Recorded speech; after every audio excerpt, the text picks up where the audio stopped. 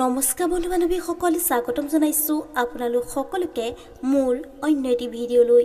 বন্ধু বান্ধৱীসকল যদিহে পোনপ্ৰথমবাৰৰ বাবে আমাৰ চেনেলটো চাইছে প্লিজ চেনেলটো ছাবস্ক্ৰাইব কৰি কাষতে থকা বেল আইকনটো প্ৰেছ কৰি অল কৰি ল'বলৈ নাপাহৰিব। শিল্পী সমাজৰ বাবে আহিছে পুনৰ এক দুখৰ খবৰ। বলিউডৰ জনপ্ৰিয় অভিনেত্ৰী মাধুৰী দীক্ষিতৰ বাবে আহিল সেই দুখৰ খবৰটি। দেওবাৰে পুৱাই আহিল সেই দুখৰ খবৰটি যিটো খবৰ শুনিলে আপোনালোকৰো দুখ লাগিব। বলিউডৰ জনপ্ৰিয় অভিনেত্ৰী মাধুৰী দীক্ষিত হ'ল মাতৃহাৰা। বাৰ মাৰ্চৰ দিনা পুৱা আঠ বাজি ত্ৰিছ মিনিটত মুম্বাই নিজ বাসগৃহত জনপ্ৰিয় অভিনেত্ৰী মাধুৰী দীক্ষিতৰ মাতৃ স্নেহলতা দেহমুখ স্বৰ্গগামী হয়।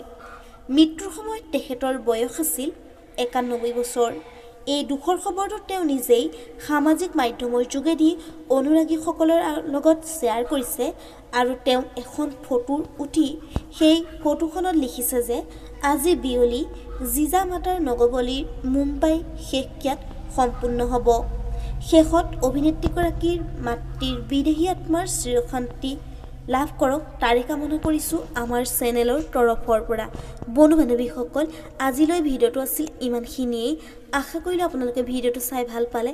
তেন্তে ভিডিঅ'টোত এটা লাইক কৰিব কমেণ্ট কৰিব শ্বেয়াৰ কৰিব লগতে চেনেলটো ছাবস্ক্ৰাইব কৰি কাষতে থকা বেল আইকনটো প্ৰেছ কৰি অল কৰি দিবলৈ নাপাহৰিব।